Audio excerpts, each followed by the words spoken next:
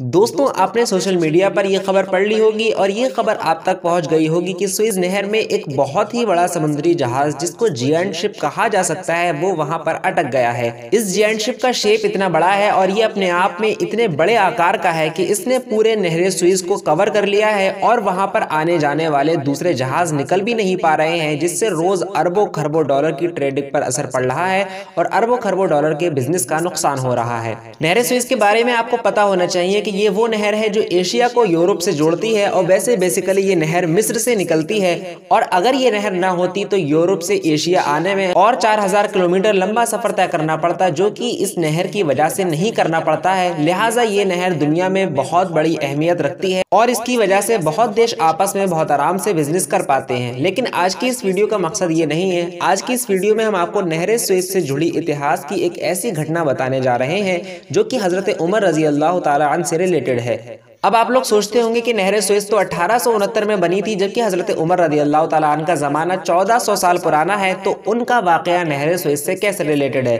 तो आइए इस वीडियो में हम आपको बताते हैं। दोस्तों, ये बात तब की है जब हज़रत उमर रदी अल्लाह तन के दौर में इस्लामी फौज ने मिस्र जीत लिया था, और उसके बाद पूरे मिस्र पर जब कब्जा हो गया तो इस्लामी फौज के कमांडर जो की हज़रत उमर बिन अलास थे, उन्होंने हज़रत उमर रदी अल्लाह तन से कहा की हमें यूरोप और मिस्र के बीच में एक नहर खोदने की इजाज़त दे दी जाए, ताकि हम उसके ज़रिए यूरोप से अपने बेहतरीन तरीके से ताल्लुक बना सके और हमारे कुछ सामान जो कि यूरोप में एक्सपोर्ट होते हैं और यूरोप से इम्पोर्ट होते हैं, वो आसानी से आ जा सके। हज़रत उमर ने उनके इस सवाल के जवाब में उनसे फरमाया कि मिस्र और यूरोप के बीच में नहर बनाने की कोई ज़रूरत नहीं है, क्योंकि अगर मिस्र और यूरोप के बीच में नहर बनाई गई तो फिर यूरोप के लोग उस नहर के ज़रिए मिस्र पर हमला कर देंगे और मिस्र दोबारा जंगों में निपट जाएगा। और हज़रत उमर का ये कहना बिल्कुल सही साबित हुआ। अठारह सौ उनहत्तर में जब इस नहर को, यानी नहर सुइस को खोदा गया और इस नहर को बनाया गया था तो ये नहर चूँकि बहुत ही ज़्यादा अहमियत वाली जगह पर थी और सारे देशों का सामान इस नहर से होकर गुजरता था, लिहाजा इस नहर की वजह से कई देश जैसे कि अमेरिका, फ्रांस और ब्रिटेन जैसे देशों में लड़ाइयाँ भी चलती रहती थी। लेकिन उसके बाद जब बीसवीं सदी में मिस्र के सदर, जिनको जमाल अब्दुल नासिर कहा जाता है, उन्होंने इस नहर पर अपना दावा कर दिया और उन्होंने कहा कि नहर सुइज मिस्र की ज़मीन है और ये मिस्र की विरासत है